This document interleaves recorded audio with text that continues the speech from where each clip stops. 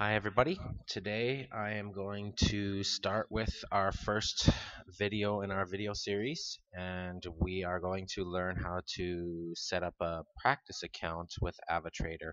Now I know a lot of you have Macs and there seems to be an issue with setting up your accounts and your traders and whatnot. So um, we're gonna use a program called MetaTrader. Now, originally I didn't want to do that because it's much more advanced, but after looking at the version of Mac or the version of platform that you can use on a Mac, it, it seems like you can't choose a practice account, like it's only for a real account or something. I don't know. So uh, we're just going to go with MetaTrader. So we're going to open up a browser, whatever browser you want. We're going to go to avatrade.com.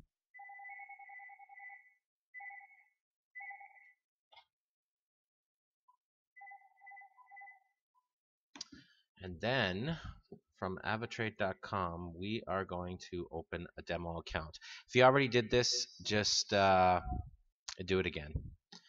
Okay, so the chosen plat chosen platform is for MetaTrader 4. Okay, so we're going to keep that there. And let me just see what's in there. Yes, that's what we want. MetaTrader 4. Fill out your information again. You could just uncheck that so you don't get multiple emails and then click start trading. For me, I'm already a customer. Oh, great.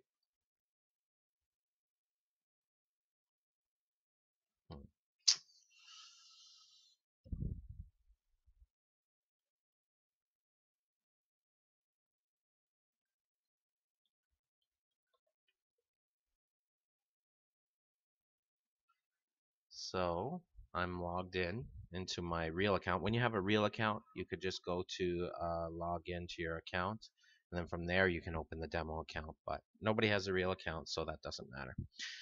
Now, here's mine, MetaTrader 4. I'm going to keep it at US dollar currency. I'm going to click Start Trading.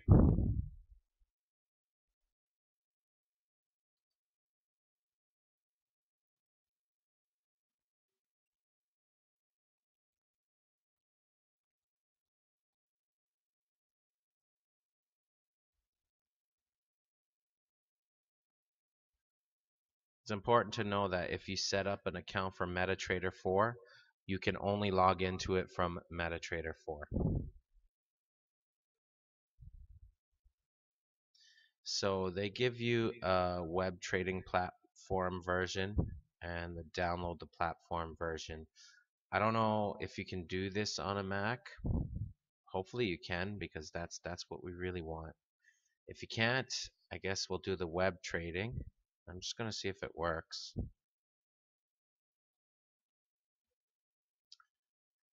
Okay, so now they want user ID and password. So there's my account.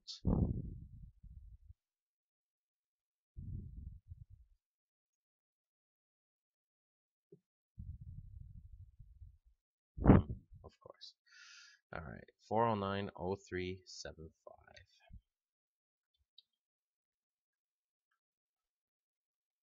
Password. And our environment is going to be Ava demo. Remember me, log in. And here we are. We're looking at the AvaTrade web version for our Mac users. And what we're looking at here is we're looking at our chart, of course, but these are all the things that you can use to find information about your account and to control the charts. So, for starters, we've already discussed how this is the price. Down on the bottom is the date. If this is a one week chart, that means each bar is a week.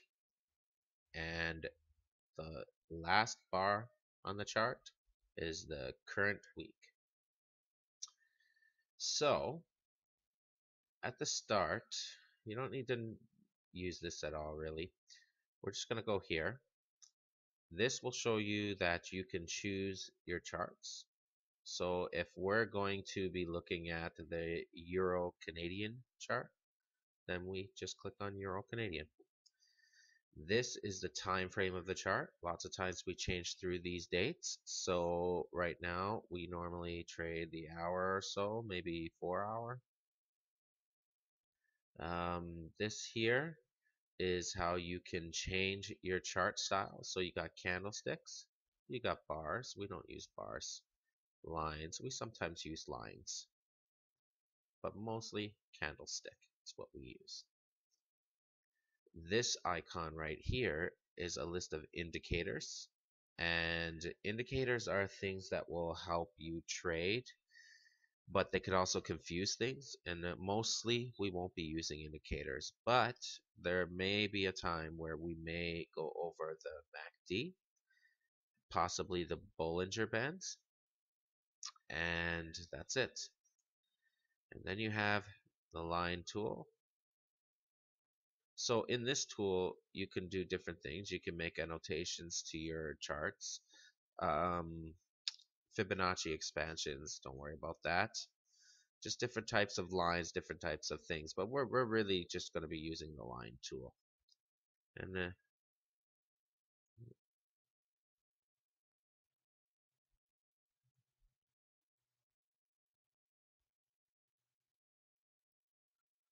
now, how do you make a line?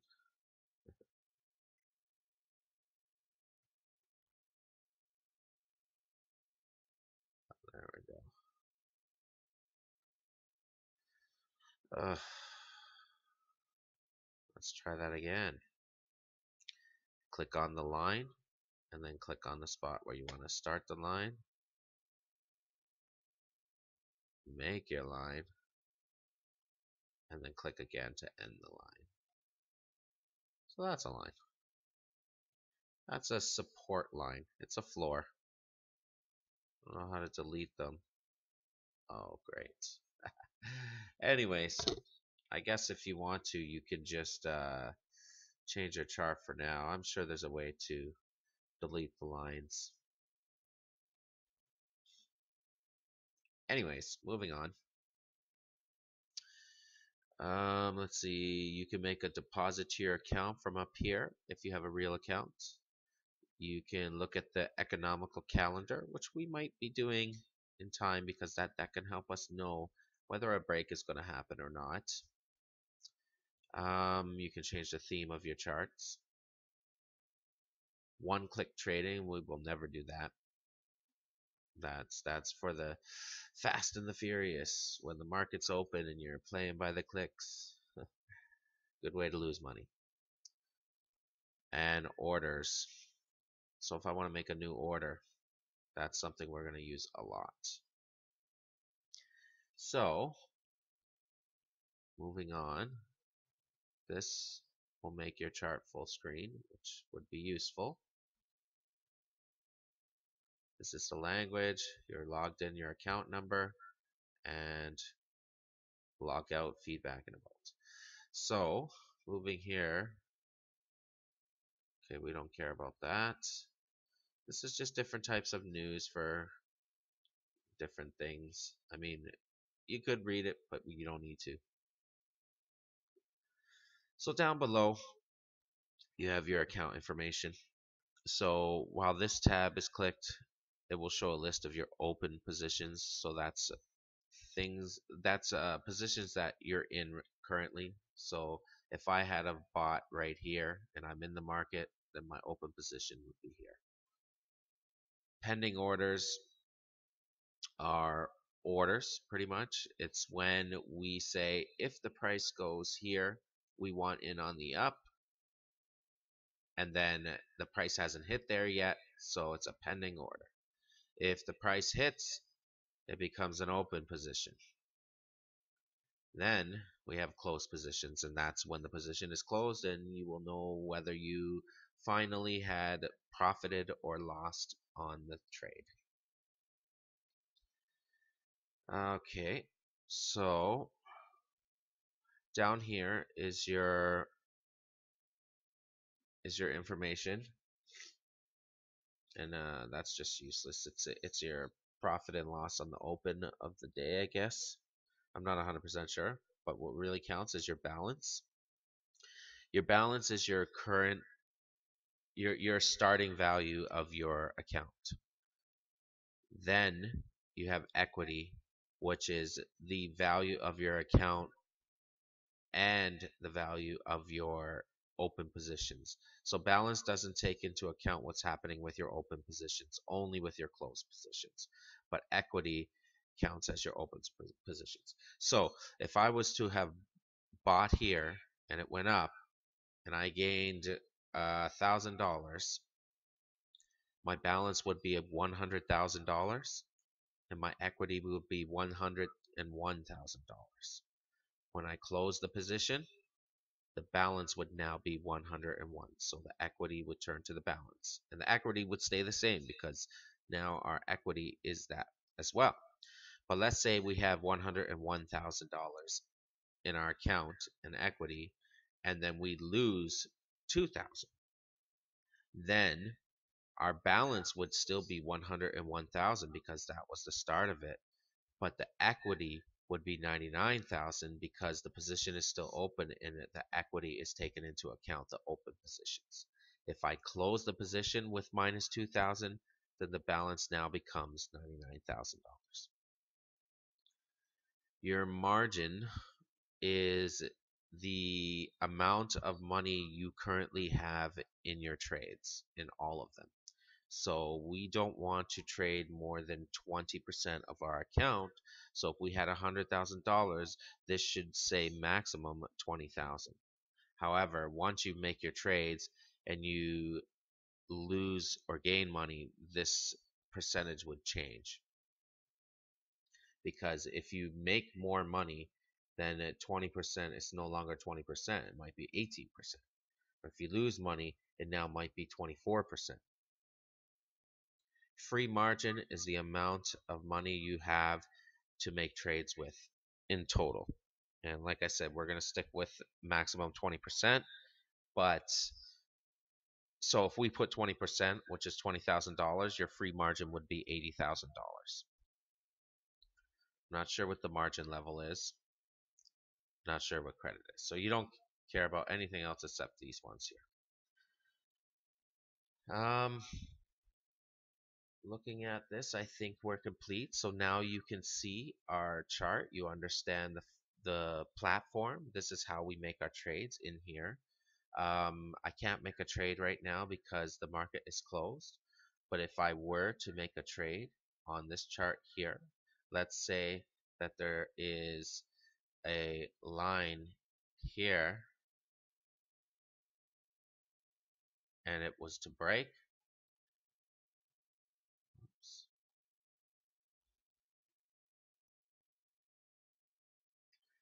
then I would say at 60 40 so I would do a new order with crude oil. Um, it's a buy order.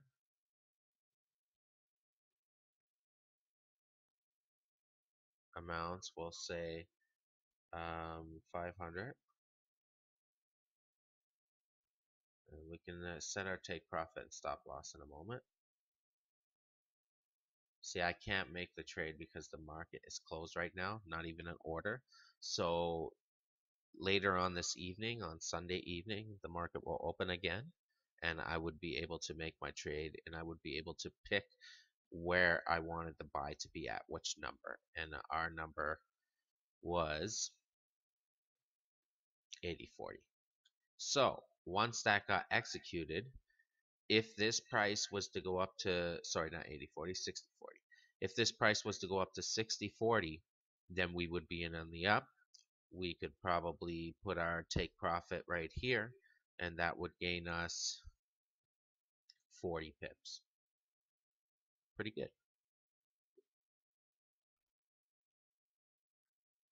And I think that's everything we need to know about these charts. So if anybody has any questions, just let me know and good luck.